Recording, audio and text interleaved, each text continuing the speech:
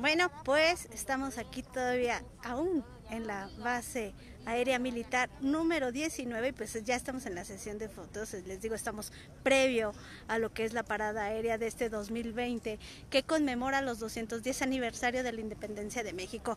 Ya empezaron, vean, les digo, estamos todos trabajando aquí. Saluden chicas, saluden chicas y chicos. Este pues es todo para que sea, salga lo mejor de lo mejor.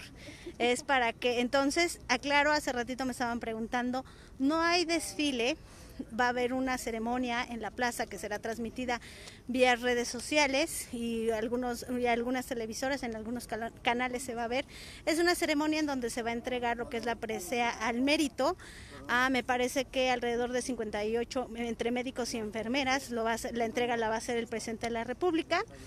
Este, al mérito se llama Miguel Hidalgo y en conjunto empieza el trabajo, que por eso es lo que estamos aquí, es a lo que es la parada aérea. Va a haber cerca de 54 a 56 aeronaves de diferente tanto ala rotativa como ala fija. Ala rotativa, ¿qué quiere decir? Que son helicópteros, ala fija son estos hermosos aviones. Esta es la tripulación que se toman su fotografía antes de empezar todo y ya en un ratito pues empezarán, pasarán arriba de sus casas. Ese es algo que, que de verdad vale la pena ver. Se han esforzado tanto por este... Estas prácticas se hacen, empiezan desde finales de febrero perdón, de finales de agosto, todas estas prácticas, perdón, yo ya ando en febrero, bueno, todas estas prácticas para que salga excelente, porque es que les digo, tiene que haber una coordinación como relojito, se coordinan varios departamentos, el aeropuerto internacional llega un momento en que corta vuelos para que solamente se haga esto. Van a ser ocho pases que van a, van a sobrevolar la Ciudad de México, son diferentes escuadrones.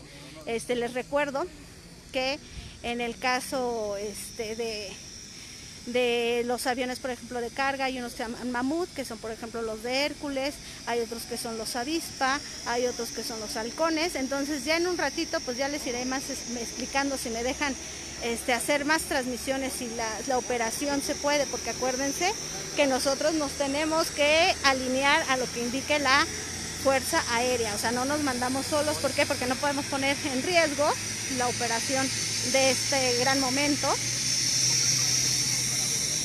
de, esta parte de este gran momento, que la verdad es muy, muy padre, es muy emocionante también el, conocer su sentir de ellos.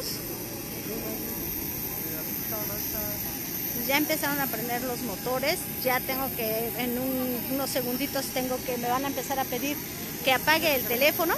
Entonces, bueno, que perdón que que este, ay es que me la ando atravesando mi compañero. ¿Ok? Bueno, entonces me despido.